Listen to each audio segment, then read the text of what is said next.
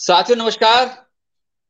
मैं सुरेंद्र कुमार, आपका स्वागत करता हूँ, आभार व्यक्त करता हूँ जन सरोकार मंच का, जिसने हमें ये प्लेटफॉर्म दिया आप लोगों से अचर्चित चेहरों को सामने लाने के लिए। और आज इसी कड़ी में नरेश निर्वाण जी हैं, जो एक कवि हैं, लेखक हैं और शिक्षक हैं। उनसे आज गुफ्तगु करेंगे हम। और साथियों, मज़ा आएगा आपको। और धन्यवाद। तो नरेश भाई जी कैसे हैं? कैसे हैं आप? मैं, मैं अच्छा हूँ आप आप सुनाइए आप कैसे हैं? जी मैं भी अच्छा हूँ। और ये मौका मुझे मिला है जन सरोकार मंच का। एक बार उनको भी धन्यवाद कर करिए आप क्योंकि बहुत हाँ, बड़ा मंच हम जैसे लोगों को आगे बढ़ा रहा है। बिल्कुल मैं भी हृदय से आभार व्यक्त कर रहा हूँ जन सरोकार मंच का जिन्होंने एक अच्छा प्रयास है और अच्छी शुरुआत है चर्चित चर्चित लेख को कवियों को प्रकाश में लाने की। इसके लिए वास्तव में साधुवाद का पात्र है जन सरोकार मंच। जी धन्यवाद जी। और इसी कड़ी में हम कुछ आपसे हल्के फुल्के जैसे भी प्रश्न पूछेंगे व्यवहारिक रहेगा और कोई बढ़ने की आवश्यकता नहीं है बातचीत है नॉर्मल बातचीत है। तो जी नरेश जी आप अपना परिचय दे स्वयं दें तो अच्छा रहेगा कहाँ जन्मे शिक्षा उम्र ये बताइए पहले तो सुरेंद्र जी मैं जिला सहारनपुर के गाँव उमरी कला में जन्मा हूँ और हम्म। अस्सी के प्रथम दशक में ही अस्सी के दशक में जन्म हुआ हम्म। और शिक्षा मेरी जो है जो प्राथमिक शिक्षा है गाँव में हुई हम्म। उसके पश्चात इंटर गाँव के पास में हमारे कॉलेज पढ़ता है बेटा चाँद वहाँ से हमने इंटर किया। तत्पश्चात जो है मेरठ विश्वविद्यालय से स्नातकोत्तर किया। हम्म। इस प्रकार से मेरी जो शिक्षा की जो यात्रा है वो रही है। और जो मैंने स्नातकोत्तर किया है जो मैंने एमए किया है हिंदी में वो वो हिंदी विषय में किया है। और हिंदी में मेरी अभिरुचि थी इसलिए मैंने अपना अपना विषय अपना क्षेत्र जो है हिंदी को ही चुना। नहीं और विषय भी चुन सकते थे आप हाँ हिंदी हिंदी इसलिए चुना कि जब मैं बारहवीं क्लास में पढ़ता था कक्षा बारह में तो उस समय जो हम्म। हमारे हिंदी के अध्यापक जो थे तो उनकी जो शिक्षण शैली थी हम्म। वो मुझे किसी और अध्यापक की शिक्षण शैली में वो चीज़ नज़र नहीं आती थी उनसे मैं बहुत प्रभावित हुआ। और उसी उसी के प्रभाव में आकर के मैं जो है आगे हिंदी हिंदी हिंदी के साथ ही आगे बढ़ता चला गया। जी जी जी। आ, हिंदी का रोल जो है राष्ट्र राष्ट्र में कितना है और कितना होना चाहिए? देखिए हिंदी कोई भी भाषा हो कोई भी भाषा होती है किसी भी राष्ट्र की पहचान होती है।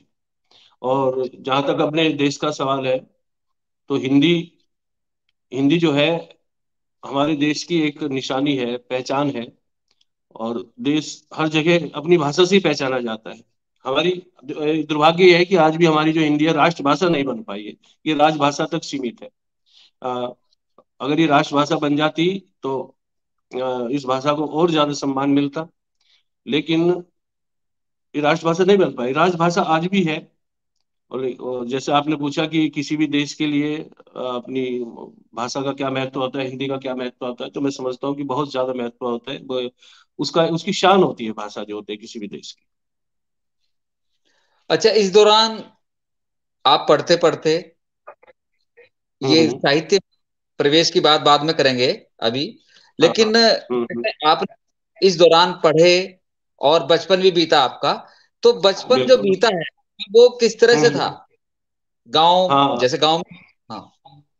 हाँ दरअसल बचपन जो है बचपन शायद मैं समझता हूँ कि जो मेरे साथी थे बचपन के उन सबसे थोड़ा पृथक बचपन था मेरा। आ, मैं मैं बच्चों के लिए गिल्ली डंडा खेलना एक उनके लिए खेल होता था। मेरे लिए वहाँ कोई कविता होती थी।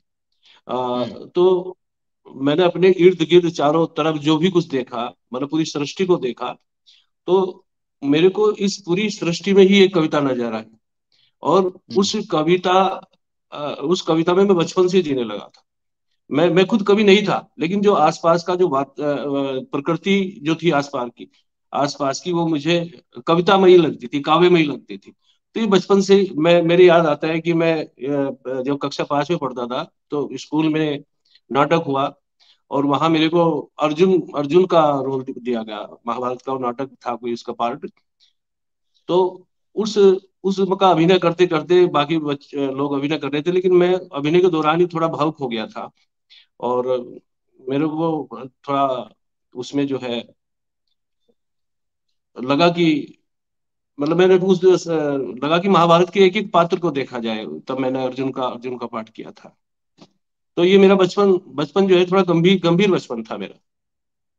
अच्छा आप बोल रहे थे कि हर जगह हर चीज़ों में आपको या सृष्टि में आपको पेड़ पौधों में जो व्यवहारिक जो बच्चे खेल रहे थे वो उस, उस खेल को आप एक कविता के रूप में ले रहे थे। तो हाँ। मैं सिर्फ़ ये पूछना चाह रहा था कि आप जब आप कवि नहीं थे तो ऐसा कैसे महसूस कर रहे थे? ये तो हाँ, इसका मतलब है कि आप आपके अंदर जो बीज था वो कविता का या कवि का हाँ, था? सकता है। हाँ वो वो बीज था वो बीज था लेकिन उसको मैं आगे चल करके जो वो खुशबू हाँ। थी जो जो खुशबू थी उसको मैं कुछ नाम नहीं दे पा रहा था। आगे चल करके कुछ मित्र मिले कुछ किताबें मिली और कुछ चेतना का विकास हुआ तो मैं समझने लगा कि हाँ कुछ अगर मैं कवि भी नहीं हूँ तो कवि की कविता की खुशबू ज़रूर महसूस करता हूँ। अच्छा संवेदनशीलता ये बचपन से थी?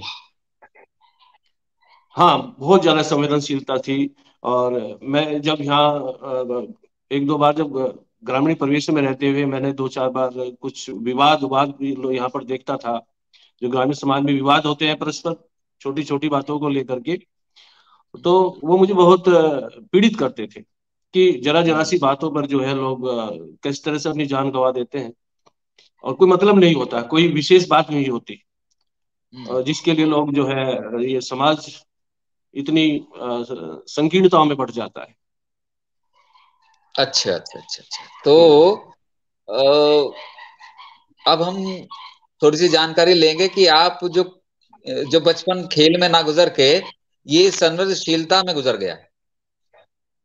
ये, ये मैं करने में गुजर गया और बचपन से ही आप जो है जवानी के रूप में आ गए बचपन में। यानी एक हाँ, एक पड़ाव जो है वो जो पड़ाव था हाँ, वो एक बहुत शुरू से आ गया आपका है ना? तो खैर दोस्त आपको मिले आगे चल के जो है जो भी सहपाठी थे जो भी मतलब हाँ, उनका नाम ले सकते उनका नाम ले सकते हैं जो जिससे आप प्रभावित कविता में आए। हाँ देखो मतलब मेन बात जो थी कविता में आने की मैंने जैसे आपको पहले ज़िक्र किया कि बाकी बाकी विद्यार्थियों के लिए कक्षा में हिंदी को पढ़ना या किसी कवि को पढ़ना किसी लेखक को पढ़ना उसका जीवन परिचय याद करना सिर्फ़ मात्र परीक्षा में पास होना होता था। हम्म। शायद मेरे लिए ये नहीं था। मैं परीक्षा में पास होने का माध्यम कभी मेरे लिए एक अनुराग पैदा होता था। मैं मैथिली शरणगुप्त को अपने अध्यापक से जब वो उसकी व्याख्या करते थे तो बाकी बच्चे हो सकता है दूसरे विद्यार्थियों में कोई मेरे जैसा ज़रूर होगा लेकिन मेरे मैं तो उस भूल जाता था कि मैं किसी स्कूल में बैठा हूँ। भूल जाता था कि मैं किसी संस्था में बैठा हूँ। तो मैं मैं सिर्फ़ उस कवि के साथ होता था। मैथिली शरण गुप्त हुए, निराला जी हुए और आगे चल करके जो आधु, केदारनाथ अग्रवाल है मुक्तिबोध की कविता थी बारहवीं क्लास में, उस, उसको पढ़ा। और तो वे सब चीज़ें थी जो मेरे को कवि बनाने मतलब कवि कवि को तो खैर कवि सहने का कहने का तो शायद मैं दुस्साहस ही कर रहा हूँ। मैं कवि कवि शायद मैं ये कह सकता हूँ कि कवि एक बहुत ज़िम्मेदारी ज़िम्मेदारी का प्राकृतिक प्राकृतिक प्राकृतिक घटना है कवि होना। बहुत प्राकृतिक घटना है। तो उस कवि के जो मापदंड होते हैं मैं कहीं ना कहीं मानता हूँ कि मैं आज पूरी तरह से कवि के मापदंडों पर शायद अभी खड़ा नहीं उतर पाऊँ। हम्म। कवि कवि को मैं ये मानता हूँ कि कवि जो है एक सैनिक की सैनिक की तरह भी कह सकते हैं। जिस तरह से वो सैनिक एक बलिदान देने के लिए तैयार रहता है, उसी तरह से कवि भी जो है, बहुत सारी सुख सुविधाओं का बलिदान दे करके और बहुत सारी क्षुद्रताओं का बलिदान उससे ऊपर उठ करके कविता कविता की जा सकती है।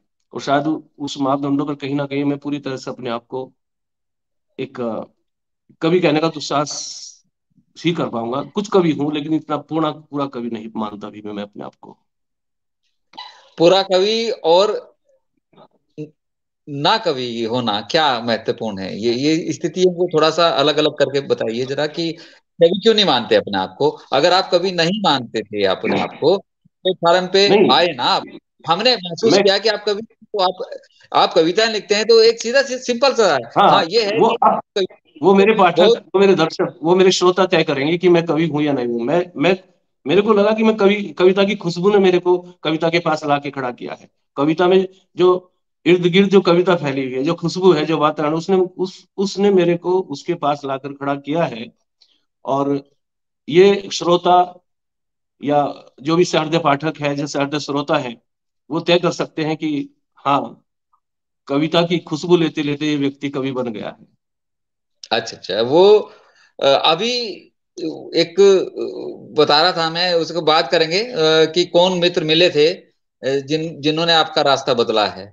या मतलब रास्ता तो पता था कि कविता दिमाग में थी लेकिन एक हाँ, गाइड हाँ। भी है ना? उसका नाम बाद में उनका नाम बाद में लेंगे सम्मान के साथ आप लेंगे।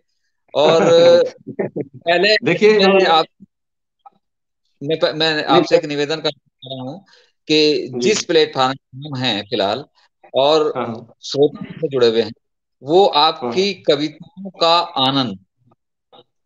आनंद कहते हैं या आपकी कविताओं का गंभीरपन देखना या सुनना चाहेंगे तो एक एक करके जरा दो तीन कविता सुनाइए उसके बाद हम बात करते हैं ठीक है मैं कुछ कविताएँ आप सुना रहा हूँ हम्म। मेरी ये कविता है और जिसका शीर्षक है विस्तार हम्म। शीर्षक है विस्तार हम्म।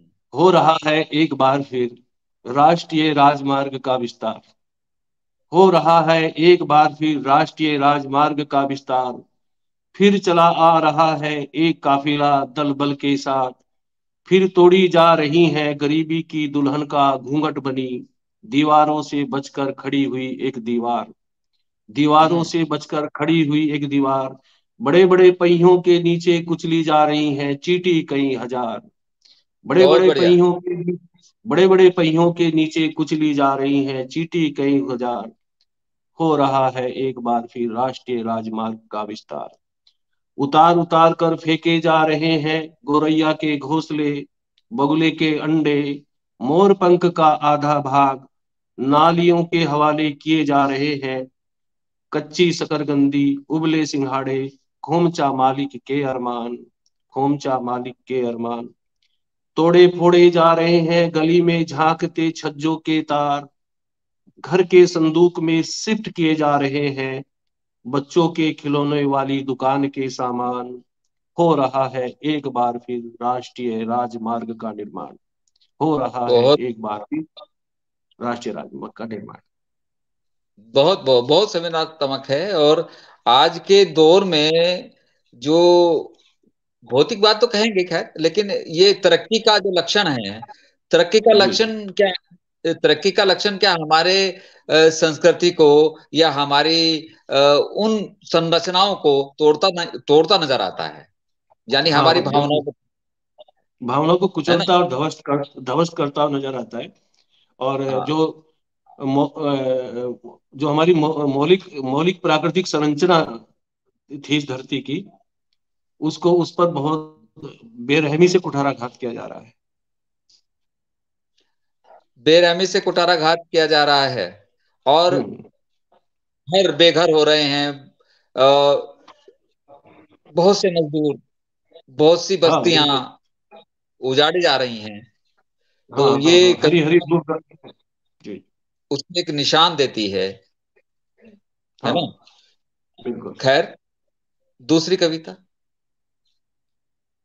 दूसरी कविता का शीर्षक है इस बार। इस बार तीर्थ यात्रा से लौटते हुए इस बार तीर्थ यात्रा से लौटते हुए हमने नदी के पानी में रुपए का सिक्का नहीं फेंका हम्म। इस बार तीर्थ यात्रा से लौटते हुए हमने नदी के पानी में रुपए का सिक्का नहीं फेंका और नहीं झाँक कर देखा पीपल के उस नन्हे पेड़ को जो उगाया था नदी के पुल की ईटों की छाती के बीचों बीच जो उगाया था नदी के पुल की छाती के ईंटों के बीचों बीच, घर पहुँचते ही मकान की छत से उतार ले आए पानी के मृदभान और चावल के दाने। डूबते हुए जहाज़ का समाचार सुनकर जेब में रखे रुमाल को जेब में ही रहने दिया और आँखों से आँखों का हक छीन लिया और आँखों से आँखों का हक छीन लिया। सत्यनारायण की कथा बीच में ही सुनना छोड़कर घर के आँगन में झाड़ू लगाने चल दिए। बहुत बढ़िया। घर के आँगन में झाड़ू लगाने चल दिए।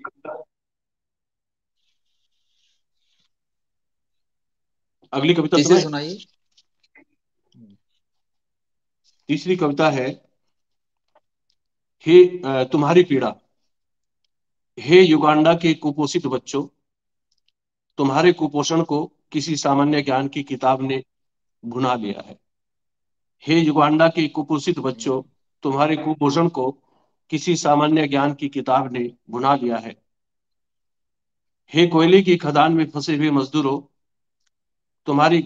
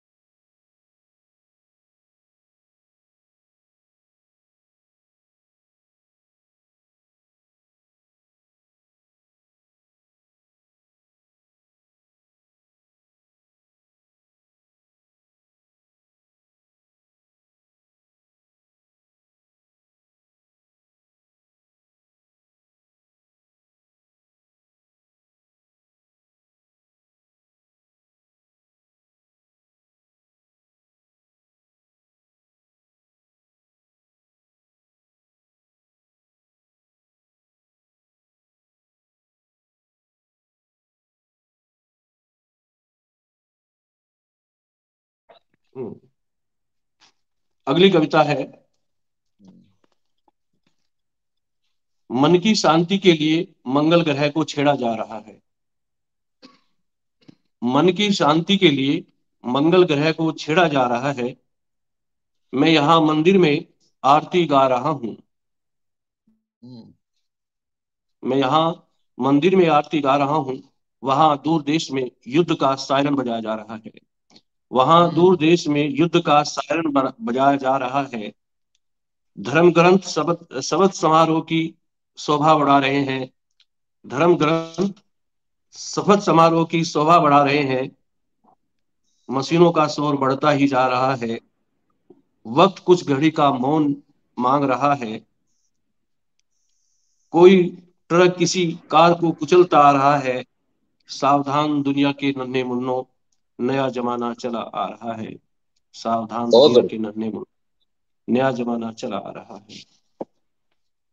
ये कविता जो शायद मैंने बहुत ही आवेग में लिखी थी और ये कोरोना काल की कविता है। हम्म। इस कविता को मैं ज़रूर सुनाना चाहूँगा। यार हम्म। मेरी आप पहुँच रही आज तक। स्वागत है आपका। तरक्की और महामारी। हम्म। तरक्की और महामारी। कोरोना काल की कविता है। तरक्की और महामारी की कैद से बाहर निकलते हुए लोग सबसे पहले शराब की दुकानों की ओर दौड़ पड़े। तरक्की और महामारी की कैद से बाहर निकलते हुए लोग सबसे पहले शराब की दुकानों की ओर दौड़ पड़े। फिर अनमने से जाकर खड़े हो गए। सार्वजनिक वितरण प्रणाली के अंतर्गत आने वाली सरकारी राशन की उन दुकानों पर, जहाँ आज भी पड़ा हुआ है, उन मजदूरों के हिस्से का पाँच किलो गेहूँ, चाल पाँच किलो चावल, दस किलो गेहूँ, एक किलो आटा। जहाँ आज भी पड़ा हुआ है, उन मजदूरों के हिस्से का पाँच किलो चावल, दस किलो गेहूँ, एक किलो आटा, जो कोरोना काल, जो कोरोना काल में पैदल ही निकल पड़े थे, हज़ारों किलोमीटर दूर अपने घर गाँव जाने के लिए। जो कोरोना काल में पैदल ही निकल पड़े थे, हज़ारों किलोमीटर दूर अपने घर गाँव जाने के लिए थक कर चूर चूर होकर एक रात सो गए थे एक रेलवे लाइन के बीचों बीच। थक कर चूर चूर होकर एक रात सो गए थे। एक रेलवे लाइन के बीचों बीच। उसी रात एक तेज रफ्तार कोरोना कालीन रेलगाड़ी उनके भूखे और थके हुए शरीर को काट कर चली गई थी। उसी रात एक तेज उसी रात एक तेज रफ्तार कोरोना कालीन रेलगाड़ी उनके भूखे और थके हुए शरीर को काट कर चली गई थी। संकटकालीन खाद्य सामग्री लेकर बड़े शहर की ओर।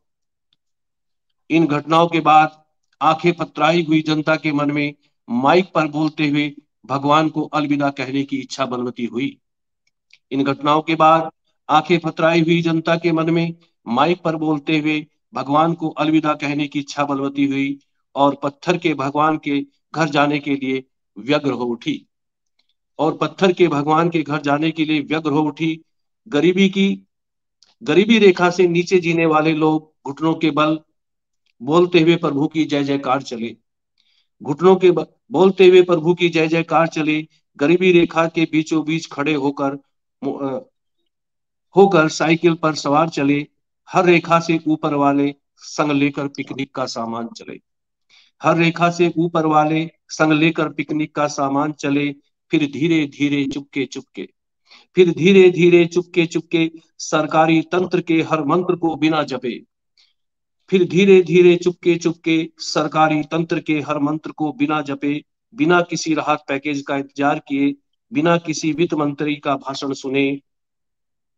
लग गई जनता तथा कथित छोटी छोटी आर्थिक गतिविधियों में। हम्म। लग गई छोटी छोटी आर्थिक गतिविधियों में किसी ने जुगाड़ कर खरीद ली एक कुंटल मूंगफली। किसी ने जुगाड़ कर खरीद ली, एक कुंटल मूंगफली और कोई निकाल लाया कर्मचारी भविष्य निधि से, अब तक का जमा पैंतीस सौ रुपए का सारा फंड। कोई निकाल लाया कर्मचारी भविष्य निधि से, अब तक का जमा पैंतीस सौ रुपए का सारा फंड। चालीस दर्जन चप्पल खरीद थोक के भाव में नुक्कड़ नुक्कड़ रहा बेचता पिछले सात महीनों से। नुक्कड़ नुक्कड़ फिरा बेचता पिछले सात महीनों से, कोई सिर पर रखकर चल पड़ा सदियों पुरानी पीतल की पारात कोई सिर पर रखकर चल पड़ा। सदियों पुरानी पीतल की परात अमीर बस्तियों में रहा बेचता गरीबी की गारंटी के साथ। हम्म। अमीर बस्तियों में रहा बेचता गरीबी की गारंटी के साथ कोई निकल पड़ा काम की तलाश में। ऐसे जैसे कभी महाराणा प्रताप गए थे घास की रोटियों के पास। कोई निकल पड़ा ऐसे काम की तलाश में जैसे महाराणा प्रताप गए थे घास की रोटियों के पास मगर इसी बीच एक हादसा और हो गया। मगर इसी हम्म। बीच एक हादसा और हो गया। खबर आने लगी हे नागरिकों हे देश के नागरिकों चिंता की कोई बात नहीं। हमारी जीडीपी में यानी कि सकल घरेलू उत्पाद में तेज़ी से वृद्धि हो रही है। हमारे जीडीपी यानी हमारे सकल घरेलू उत्पाद में तेज़ी से वृद्धि हो रही है। ये कविता कोरोना काल की कविता थी। बहुत ही गांधीर्य लिए हुए है और उस दौरान जो व्यथा जो पीड़ाएँ जो। अभाव झेला है जनता ने हाँ, जनता ने वो निम्न वर्ग के जो लोग थे जो पैदल निकल पड़े थे मजदूर। आ, उनका एक पूरा दर्शावलोकन हो रहा है। मतलब पूरा पूरा वो नज़र आ रहा है टीवी की तरह देख रहा हूँ कि जो आपकी कविता में नज़र है ना? तो इसको बहुत बहुत धन्यवाद। और अच्छी कविता के लिए भी बहुत अच्छी धन्यवाद आपका। और आप जो कह रहे कि मैं कवि होने का ना होने का वो तो हमें पता लग गया कि आप कवि हैं या नहीं है वो मैटर अलग हो सकता है। अच्छा खैर आप ये बताइए तो पीछे की जो पीछे छूट गए थे कविता में जो सुनने में क्योंकि कविताएँ आगे भी सुनेंगे। अब तो कविता ही सुननी थी। पिछला जो है उसमें हम पूछ रहे थे आपको कोई कौन एक ऐसे पुरुष मिले आपको जो आपके गाइड बन के तैयार हुए या उनसे आप प्रभावित थे जो साहित्य में पहले हाँ। से उनका नाम क्या है? देखिए मैं दरअसल इस चीज़ से थोड़ा बचता हूँ मैं किसी भी कहने को क्योंकि मैं फिर, फिर वही चीज़ आ जाती है कि आ, कि आ, कविता क्या है बहुत ही मौलिक चीज़ है। मौलिक चीज़ ये बिल्कुल ऐसा है कि इस पर जरा भी छीट लगने से मतलब कोई भी अमौलिक छीट लगने से कविता की जो गरिमा है, उसको आघात पहुँचता है। हाँ निश्चित रूप से मैं प्रभावित हूँ। एक आप बहुत लोगों से प्रभावित हो। लेकिन उस प्रभाव से मुक्त होने का नाम ही तो कविता है। अगर हम किसी प्रभाव में कविता करते रहते हैं तो हम कविता नहीं लिख पाते फिर। हम हाँ ये सोच सकता है कि रास्ता हमें बता रहा था। और रास्ता हमें बता रहा था वो, उस रास्ता नहीं बल्कि एक कविता की जो महाखुशबू है वो वो उस व्यक्ति के पास थी और व्यक्ति वो जो व्यक्ति आपको अपने आप को कभी खुल करके कवि नहीं मानता लेकिन वास्तव में बहुत बड़ा कवि है और नाम लेते हुए मुझे कोई हिचक नहीं होती। चेतन क्रांति जो है जिसको आप सुनना सुनना चाह रहे हैं तो वो चेतन क्रांति है इसमें कोई दो राय नहीं। नहीं इसमें तो बहुत पहले कह देना चाहिए इसमें कोई दो रही बात कभी मानना ना मानना ये हमारे हाथ में कहाँ है? हाँ हाँ ये पाठ को ये तो मैं हाँ। हाँ। ये हमारे हाथ में नहीं है लेकिन ये है कि जब हम कविता लिखते हैं तो कहीं ना कहीं कभी तो होते ही हैं छोटे बड़े जो भी है मतलब प्लेटफॉर्म तो हाँ, है ही हाँ, अपने हाँ, को प्रचार करवाना वो अलग बात है। कोई कम करवाता है कोई ज़्यादा करवाता है लेकिन हाँ। यह है कि जो चीज़ आप जानते हैं जो चीज़ आप महसूस करते हैं जो चीज़ आप लिखते हैं तो कहीं ना कहीं तो ये बात उजागर होती है कि हाँ आप कविता लिखते हैं। हाँ, पक्का है। शायद किसी किसी कवि ने कहा था कि कि आत्मा की मुक्ति की तरह कविता की भी एक मुक्ति होती है। शायद कुछ इस तरह मैंने कहीं पढ़ा था। तो वो बातें भी मेरे याद रहती हैं। किताब कौन सी पसंद आई साहित्य की जो आप जिसको आप पढ़ के आपको लगा हम्म, कि। मैंने कुछ या आपका रूपांतरण हो गया, यानी जीवन को समझने की एक क्षमता बढ़ी है आपको, ये बताइए। ऐसी कोई किताब? हाँ हाँ किताबें तो जो है काफ़ी कुछ साहित्य किताबें मैंने पढ़ी, लेकिन जो सबसे ज़्यादा मेरे को अपील करती थी उस दौरान जब मैं कविता को ज़्यादा चाहने लगा था कविता कविता जैसे कि एक राष्ट्र कविता ही जीने का मकसद दे रही थी तो उस समय मैंने श्रीकांत वर्मा की एक कविता थी उस कविता ने मेरे को बहुत आंदोलित किया था। मुझे उनकी कविता अगर कहो तो मैं आपको दो चार उसके बोल सुना दू कविता के। मेरे याद मतलब एक हाँ एक दो बोल सुना सकते हैं हाँ उनकी कविता थी कि मुझे माफ़ करना पिता मेरे यद्यपि मेरा दोष नहीं। मैंने भी प्यारे प्यारे सपनों की भोए चूमी थी मेरी भी इच्छाएँ उपमासी चूमी थी। आज व्यंग हूँ जिसका वह सपना बचपन में बार बार देखा था। आँसू मत टपकाओ मत टपकाओ आँसू। मुझको प्रत्येक बूंद छाती पर पिघले लोहे जैसी लगती है। मुझको प्रत्येक बूंद छाती पर पिघले लोहे जैसी लगती है। कुछ इस तरह की वो पंक्तियाँ थी। तो जिस तरह से एक व्यक्ति के व्यक्ति के व्यक्ति को पकड़ते थे वो।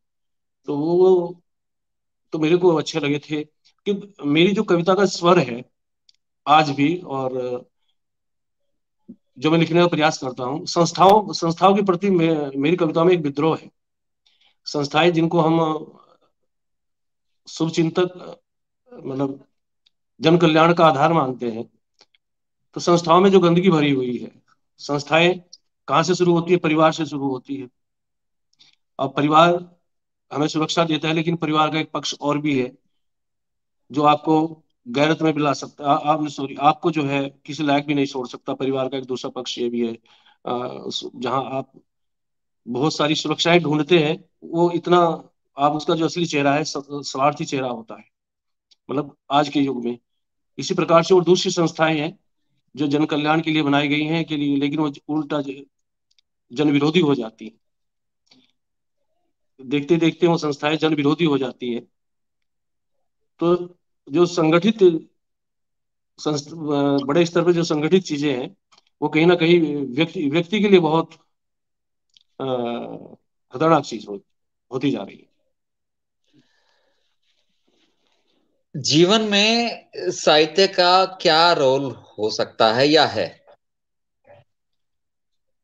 देखिए मुंशी प्रेमचंद जी ने कहा था कि साहित्य क्या है? राजनीति के आगे मसाल लेकर चलने वाली मसाल है जो राजनीति के आगे की चीज़ है। राजनीति को रास्ता दिखाती है राजनीति। ये क्या साहित्य? लेकिन दुर्भाग्य हमारा ये है कि वे संवेदनशील साहित्य आज एक साहित्यकारों की एक ऐसी फौज तैयार हो गई है, जो तथाकथित साहित्यकार हैं, तथाकथित कवि है, जिन्होंने टीवी चैनलों को कब्जा लिया है। तो वो राजनीति के आगे मसाल लेकर नहीं चल रहे हैं, बल्कि राजनीति के पीछे पीछे दौड़ रहे हैं, आगे लेकर मसाल नहीं चल रहे और कहीं कहीं साहित्य का जो मोटिव होता है साहित्य का जो उद्देश्य है उसको हमें ढूंढना है दोबारा फिर। उसको तलाशना है। क्योंकि उसका हाईजैक हो चुका है। जो उसका उद्देश्य था, साहित्य का, वो आजकल हाईजैक की कंडीशन में तो हमें मैं अपने अनुसार ये कह सकता हूँ कि जो तथाकथित साहित्यकारों की एक भीड़ सी इकट्ठी हो गई, जो रातों रात साहित्यकार बनते हैं, उनसे उनसे साहित्य को बचाना है। तब साहित्य जो है, अपना काम करना दोबारा फिर शुरू कर देगा। उनसे बचाना बहुत ज़रूरी हो। गया हाँ जी। हमने एक शब्द निकाला था इसका। हम्म, हम्म। तो झुरमुट की तरह साहित्यकार आए हैं। और आने चाहिए गलत तो नहीं है लेकिन साहित्यकार हो तो। हाँ, हाँ। अगर अगर साहित्य पढ़ना और साहित्य लिखना कोई बुरी चीज़ नहीं है ये आना चाहिए। लेकिन वे साहित्यकार हैं। वे है नहीं। हाँ, उनको पैरोडी पैरोडीकार है। साहित्यकार नहीं वो पैरोडीकार है। हाँ हमने उनको एक नाम दिया है गूगल कवि। हम्म। साहित्य को कविताओं को अपना गूगल से खोला इधर से मोड़ी कुछ आपकी कुछ किसी की और कविता तैयार। वो जो गूगल कवि हैं कितना पड़ेगा। हाँ हाँ। बिल्कुल साहित्य को उसी से बचाना है।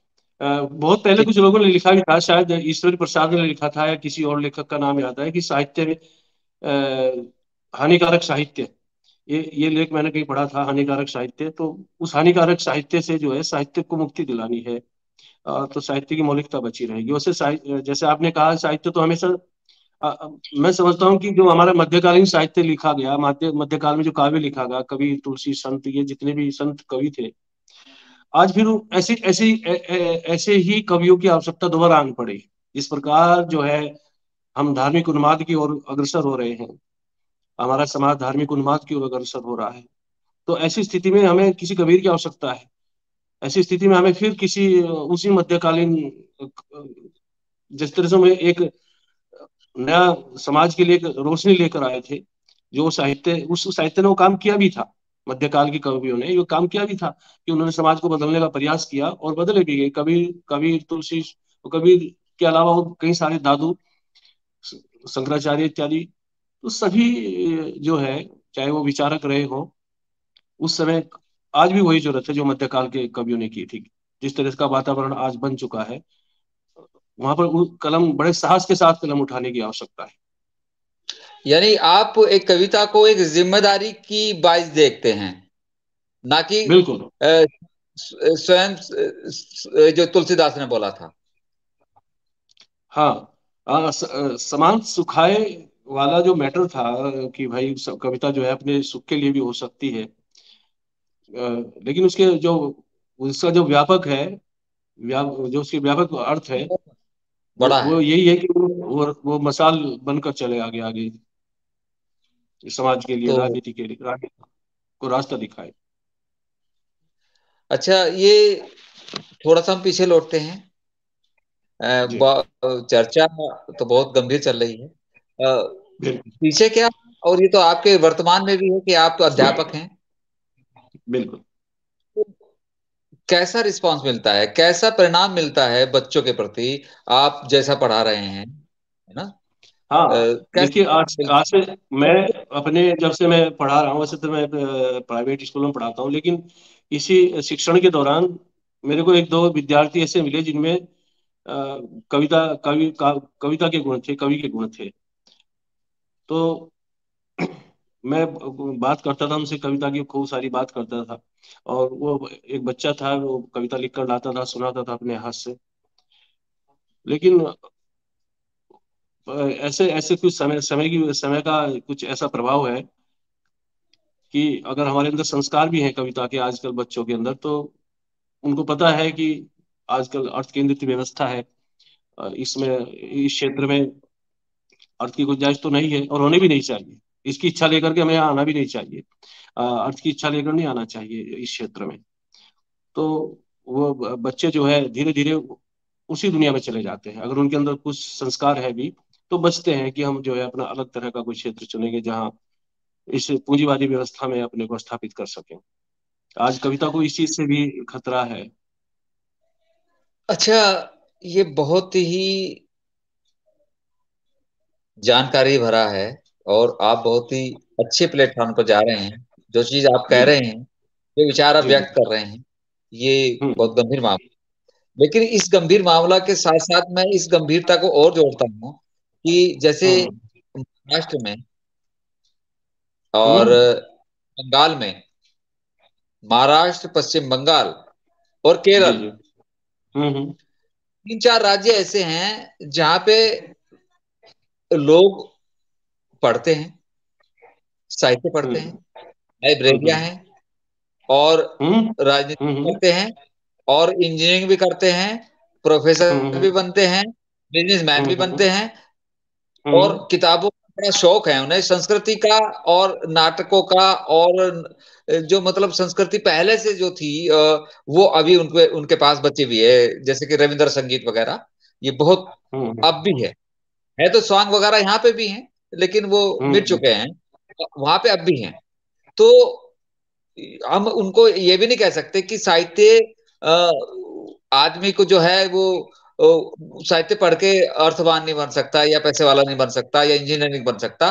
उस सोच को हम्म। हमारे हिंदी पट्टी क्यों नहीं अपनाती कि साहित्य भी घर घर होना चाहिए और साहित्य पढ़ के कोई आदमी मतलब कोई वो काफिर नहीं बन सकता और या साहित्य पढ़ के कोई आदमी बेकार नहीं बन सकता। साहित्य पढ़ के तो आदमी हम्म। बहुत कुछ बन सकता। हाँ ये मैं मैं इस बात को मानता हूँ कि साहित्य साहित्य पढ़ कर के ही और साहित्य सीख करके ही साहित्य जो है हमेशा मानवीय संवेदनाओं से युक्त होता है। तो वो व्यक्ति तो वास्तव में बनता है। व्यक्ति तो उसी दिन बन जाता है जब वो साहित्य जगत में प्रवेश करता है। और जहाँ तक धनार्जन की बात है कि वो आ जाए। मतलब एक साहित्य साहित्यकार के पास वो आ जाए धन। और बस इस क्षेत्र में उसके पास कभी आ, वे वे संकीर्णताएँ वे विद्रूपताएँ वो छल वो कपट जो होता है वो साहित्य एक लेखक को, एक कवि को और एक रचनाकार को। मतलब अगर पूरे, पूरा समर्पण इन चीज़ों को दे देगा, कोई भी साहित्यकार या रचनाकार तो उसकी रचना की जो रचना धर्मिता है, उसमें कमी आ जाएगी, वो उसकी मौलिकता में कमी आ जाएगी। और अगर कहीं हो भी रहा है, ऐसे प्रोफेसर लोग हैं तो आप जैसे बता रहे हैं बड़े बड़े लोग हैं जो साहित्य भी रच रहे हैं, पैसा भी है, उनके पास सब कुछ है। तो वो आ, आ जाए लेकिन उनका साहित्य भी उसी कोटि का होना चाहिए। तो फिर वो मतलब स्वागत योग्य है। अगर वो प्रोफेसर है कोई बहुत बड़ा व्यक्ति है तो उसका साहित्य भी तो ऐसा ही हो कि वो हमारे जन कल्याण की बात उसमें बात छिपी हो कुछ ऐसा हो जो मानवीय संवेदनाओं से युक्त हो। तो फिर अ, उनकी दोनों चीज़ जी जी। जी।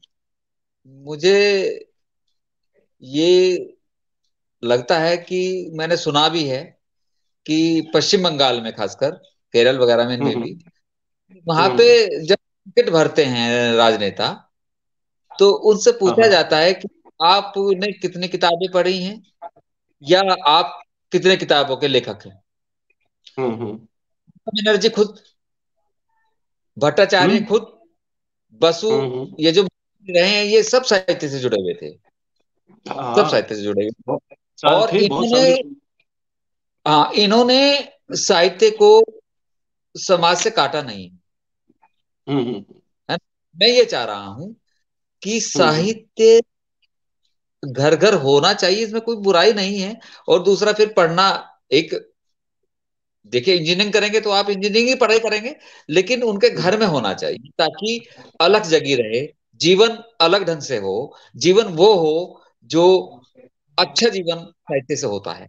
तो वो व्यवहार में ढलने चाहिए। मैं ये कहना चाह रहा था। हाँ बिल्कुल ये अगर ऐसा हो जाए कि भाई घर घर साहित्य पहुँचे और व्यक्ति व्यक्ति के हाथ में साहित्य पहुँचे तो ये तो एक बहुत आदर्श स्थिति है। अगर तो फिर समाज में जो क्या बोलते हैं उनको सकारात्मक परिवर्तन फिर तो सकारात्मक चीज़ें आने लगेगी हमारे समाज में। अगर हाँ साहित्य की वापसी हो जाए घर घर में पहुँच जाए अब ये ये सरकार इस बारे में सोच सकती है। लाइब्रेरियाँ हैं वह धूल झाड़ रही हैं। या तो लाइब्रेरियाँ हाँ। नहीं है है तो धूल हाँ झाड़ रही है कोई नहीं है। जैसे मैं आपसे बता रहा था कि, स्कूल कॉलेजों में क्या है कि वहाँ साहित्य पहुँच रहा है। साहित्य है स्कूल कॉलेजों में साहित्य है कोई किताबें हैं हिंदी की किताबें हैं कवियों की किताबें कवि पढ़े जाते हैं वहाँ पर पाठ्यक्रम में है। लेकिन वो परीक्षा पास करने का एक माध्यम है। एक बच्चा जीवन परिचय याद करता है तो वो पास कि भाई मेरे को पाँच नंबर हैं जीवन परिचय याद करके बोर्ड की परीक्षा में। उसका वो याद किया और फिर तो पास हुआ तो भूल गया कि कौन निराला थे, कौन तुलसी थे, कौन जयशंकर प्रसाद थे। फिर वो भूल भूल जाते हैं इन चीज़ों को। तो उनके उनके लिए वो माध्यम मात्र है परीक्षा में ये ये बड़ा दुखद है, अपने आप में बड़ा दुखद है कि जिस तरह से हम और चीज़ों के, खिलाड़ियों के या बहुत सारे और रोल मॉडल है, उनके फ़ोटो घरों में लगाते हैं तो किसी साहित्यकार का नहीं लगा होता। हालाँकि उन्हीं को पास उन्हीं को पढ़ करके, उन्हीं को पास करके उन्हीं को पढ़कर के पास हुए और वो फिर अगली क्लास में पहुँचे। लेकिन उनका फ़ोटो उनके जीवन का अंग नहीं बन पाता है।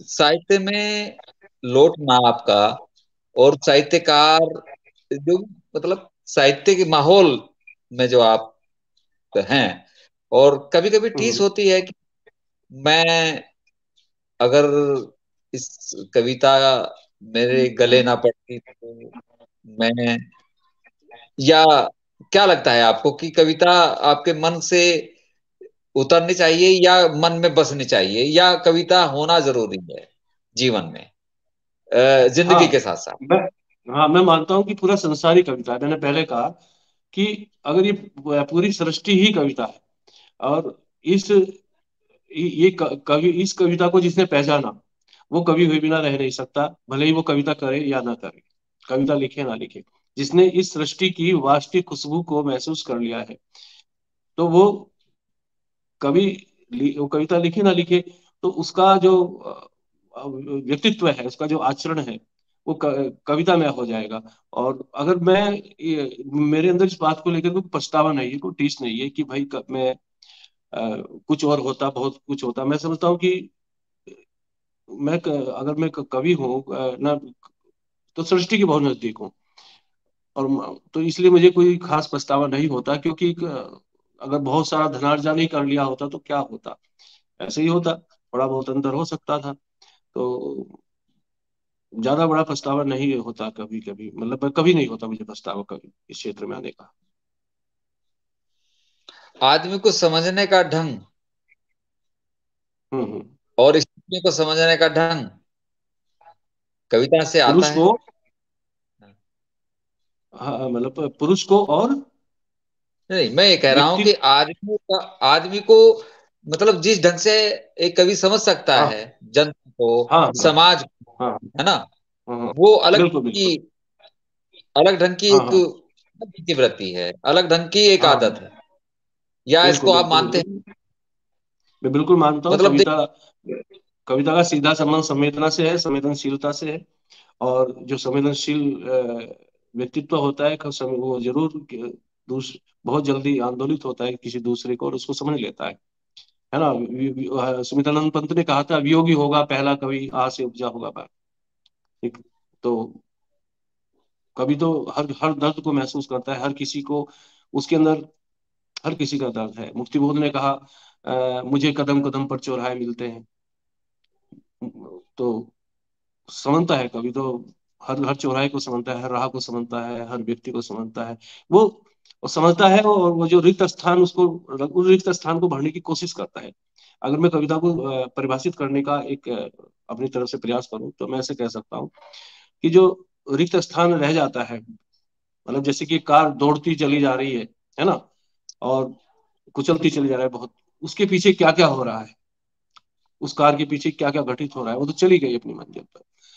तो उस, उसको देखता है रचनाकार कि ये क्या करके गुजर गई। ऐसे ही कोई दौड़ता है व्यक्ति जा रहा है चला जा रहा है। उस, उस तो उस व्यक्ति को तो चला गया है। लेकिन एक रचनाकार एक कवि एक लेखक जो है उसको समझने का प्रयास करते है कि पीछे क्या छोड़कर चला गया है। बहुत जी। बहुत अच्छी जानकारी आपसे मिल रही है और आपकी संवेदनशीलता से हमें बहुत कुछ लाभ भी मिल रहा है। कुछ कवियों के नाम जिसे आपको पढ़ के अच्छा लगा? हाँ जैसे मैंने श्रीकांत वर्मा केदारनाथ अग्रवाल है दुष्यंत कुमार है और एकांत श्रीवास्तव है और जी आपके अखिलेश हैं। और ये तो आधुनिक कवि हैं और जयशंकर प्रसाद है निराला है अज्ञा हैं। बहुत सारे कवि हैं जो अच्छे लगते हैं पढ़ने में। और आधुनिक कवियों में जो बहुत सारे लगते हैं। अभी यहाँ नाम तो शायद इतनी जल्दी नहीं लेकिन काफ़ी कवियों को पढ़ते रहते हैं। अच्छा कविता विधा और कहानी विधा गद और पद आजकल तो कविता गद की तरह से लिखी जा रही है। और उसको आय कविता प्रगतिशील कविता और हम्म। पहले। जो क्या पहले छायावाद छंदवाद आया बहुत पहले से हाँ। था। दो हाँ। उसमें मात्रा और गजलों में भी रदीफ काफिया है। लेकिन आजकल की जो कविता है कविता या प्रगतिशील कविता इससे आप मुतमिन हैं। यानी ये अपना काम कर रही है। हाँ हाँ ये दरअसल जैसे मैंने पहले बताया था निराला ने कहा था कि कविता की कविता को भी हमारे को मुक्त कराना है छंदों के बंधन से मुक्त कराना है। निराला का एक अभियान था आंदोलन था और मैं उनका सम, उस बात का समर्थन करता हूँ कि कविता उसमें अपने को कह नहीं पाता था कोई बात कही नहीं जाती। जब छंद छंद के बंधन में कविता बन जाती है तो उसका जो व्यापक उद्देश्य होता है कविता का वो वो नहीं आ पाता। तो बंधन मुक्त थोड़ा ज़रूरी था कविता का।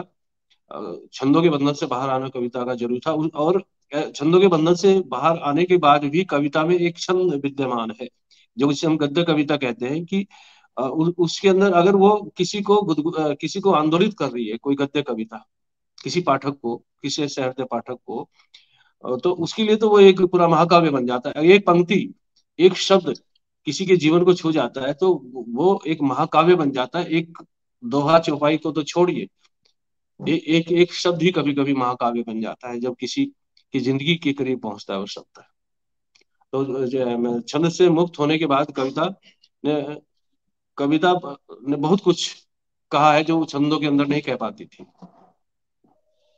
कहानियाँ भी पढ़ी होंगी आपने? कहानी बहुत कम पढ़ी है। कहानी बहुत कम पढ़ी है और पढ़ी है तो इस तरह नहीं पढ़ी जैसे कविता पढ़ी है। उपन्यास? हाँ उपन्यास पढ़े। उपन्यास पढ़े हैं। जैसे? सारा आकाश पढ़ा है गोदान पढ़ा है और ज़्यादातर कविताएँ पढ़ी हैं। और विदेशी लेखकों को पढ़ा है? मैक्सी गोरकी की माँ पढ़ी माँ पढ़ी है? हम्म, कभी पढ़ी थी है लगभग जब बीए में पढ़ते थे तो उस समय पढ़ी थी उनकी एक किताब जो है। बहुत आंदोलित करती है और बहुत ममत्व का एक हाँ हाँ। सार है कि माँ माँ को किस रूप में मतलब माँ को माँ के रूप में उन्होंने डाल दिया है। और ये बिल्कुल। ऐसा लगता है कि बिल्कुल सच्ची घटना आप भी पढ़ लोगे आप तो लगेगा कि ये बिल्कुल सच्ची घटना पर आधारित माँ हाँ। हाँ वहाँ पे वो वो उन्होंने लिखा था इस तरह से। था हाँ वहाँ पे।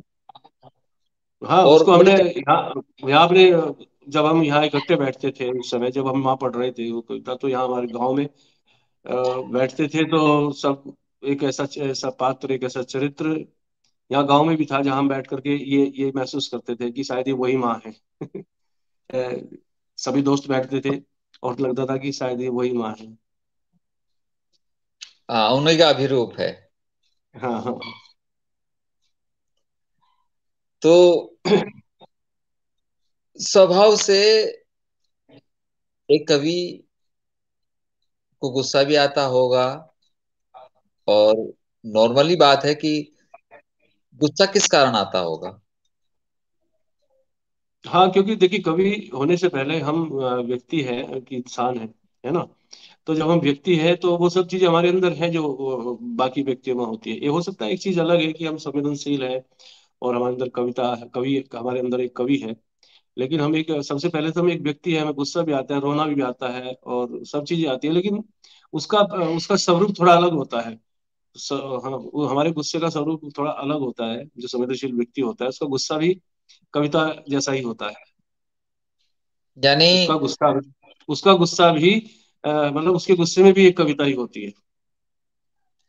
मतलब अच्छा एक चीज़ हमेशा मुझे ख्याल आती है कि ज़रूरी नहीं है कि आप जो हैं लिखते हैं तो आप कवि हैं। एक गृहिणी जो है अगर गोल गोल रोटी पकाती है और सौंधी सौंधी हाँ। उसमें खुश है तो क्या वो कविता नहीं रच रही है?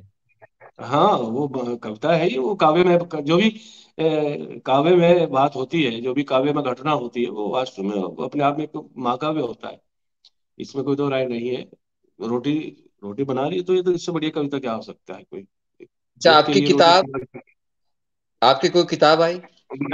मेरी जो पांडुलिपि है तैयार है मैंने पहले कहा कि मैं दरअसल कई बार सोचा कि मैं हूँ ही नहीं कवि कविता मेरी कविता छपने लायक है भी या नहीं है। तो मैं तो एक खुशबू से जीता रहा कविताओं की। मैं किसी अच्छे कवि को मुझे अपनी कविताओं से अच्छा लगता है कि भाई मैं दूसरों की कविताएँ मंत्रमुग्ध होकर सुनता हूँ।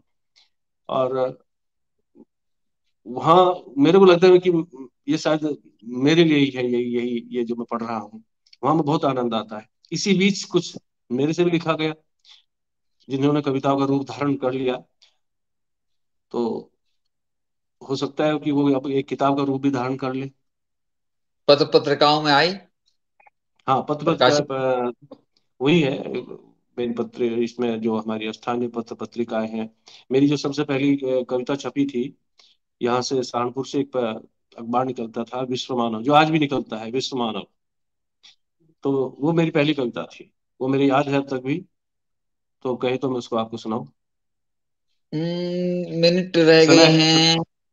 कितनी दो मिनट रह गई दो हाँ तो तीन फिर मिनट कभी कोई बात नहीं तो फिर कभी हो जाएगी ऐसी बात नहीं। नहीं अ, अलग से आपका एक मंच तैयार कर लिया जाएगा। कविता बोलती है और उसमें आप अपनी कविताएँ सुना सकते हैं। और मैं समय बहुत करीब करीब है तीन मिनट बाकी हैं तो मैं ये भी पूछना चाह रहा था कि एक इंसान के नाते और उसके साथ साथ जिम्मेदारियाँ भी बहुत हैं और कविता भी साथ साथ चलती है। तो हाँ। अरे वह पोह में आप अपना समय कैसे निकालते हैं कविता के लिए? या एक बार बैठ कर लिखते हैं उस पे क्या मेज पर या अपना साइकिल चलाते हुए, स्कूटी चलाते हुए या पढ़ाते हुए दिमाग में कैसे लिखते हैं? नहीं कविता तो कहीं पर भी बनने के लिए तैयार रहती है। कहीं पर भी, सड़क पर भी, जहाँ पर भी होते विषय तो हमें वहीं से मिलते हैं। जहाँ भी छू जाता है मन हमारा। लेकिन जहाँ तक लिखने का सवाल है तो कविता अक्सर मैं शाम में रात को ही लिखता हूँ रात के समय लिखता हूँ बैठ करके।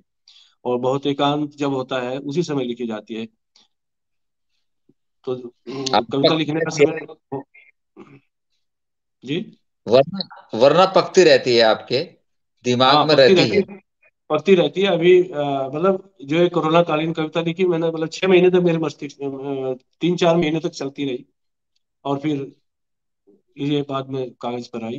तो ऐसे बहुत सारी चीज़ें हैं जो चार चार महीने सालों सालों चलती रहती है। मस्तिष्क में लेकिन कागज़ में, कागज़ पर आने पर बहुत समय लग जाता है। विषय बहुत पहले से मस्तिष्क में होता है और जैसे आपने कहा पकती रहती है और सालों बाद जो है कागज़ पर आती है। कागज़ पर आने के बाद भी वो बहुत कुछ उसमें जो है संशोधन, परिसंशोधन करने पड़ते हैं समर्थ तो तब जाकर के लगता है कि हाँ इसमें कुछ कविता जैसा आ गया है। साथियों, इजाज़त चाहेंगे? और समय खत्म होने वाला है। और जन सरोकार मंच का एक बार फिर आभार व्यक्त करेंगे कि हम जैसों को प्लेटफॉर्म देने के लिए, बातचीत करवाने के लिए बहुत बहुत आभार बहुत बहुत धन्यवाद। नमस्कार। मैं भी मैं भी जन सरोकार मंच का हृदय से आभार व्यक्त करता हूँ, जिन्होंने ये मंच प्रदान किया, और इसी के साथ बहुत बहुत धन्यवाद।